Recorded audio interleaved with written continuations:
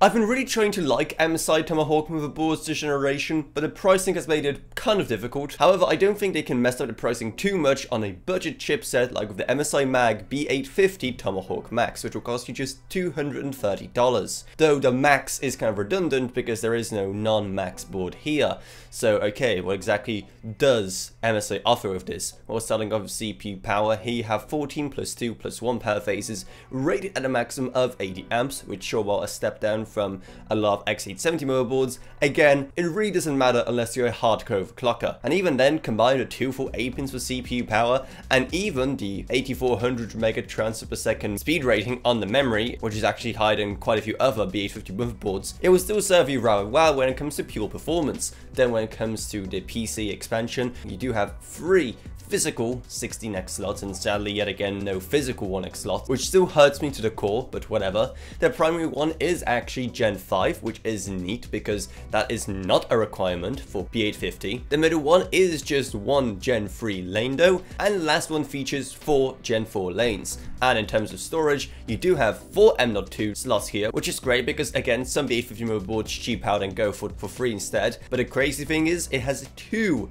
Gen 5 M.2 slots, pretty unheard of at its price point, with the other two being Gen 4, though do keep in mind that if you populate the third M.2 slot, the bandwidth to that last PCIe slot will be cut in half, and to top it all off you have 4 SATA connectors, which let's be honest is more than enough for most people in 2025 when you probably aren't using that many SATA drives. Well, MSI ain't no gigabyte with the plentiful USB Type A ports given how here you just get 7, with 4 of them being Gen 2, which may or may not be enough depending on how many peripherals you're planning on plugging in. However, it more than makes up for it with the whopping three USB Type-C ports. However, annoyingly, they are all capped at just 10 gigabits per second, even if the chipset itself is capable of up to 20.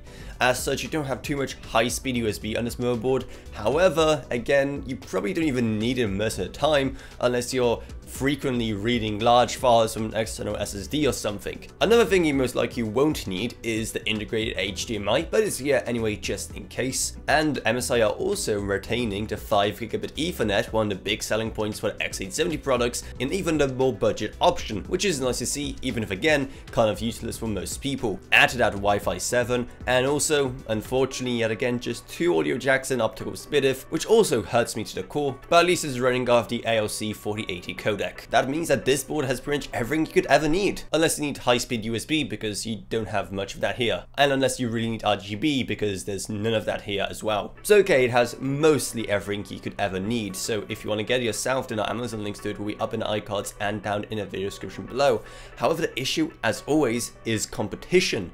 Between cheaper B850 boards, last gen X670 or B650 stuff, and even some mega aggressively priced X870 motherboards, this motherboard just doesn't excel in any one area too much apart from maybe just having this free USB Type-C ports, which depending on your setup could be one of the main reasons why you want to get this thing. But what's always a great deal is a Patreon, because that costs as little as $1 a month, plus huge thanks to Gavin Burns, Justen Rage, Ela Wroniak, Bodish Roka, Patrick Harrison, not a student in Meg, Sumner, Shane Warcraft, and Level Up. But anyway, that's what it's. I hope you enjoyed this video. If you did, remember to subscribe, like, whatever, and I'll see you all in whatever I make next. Goodbye, everyone. Good. Bye.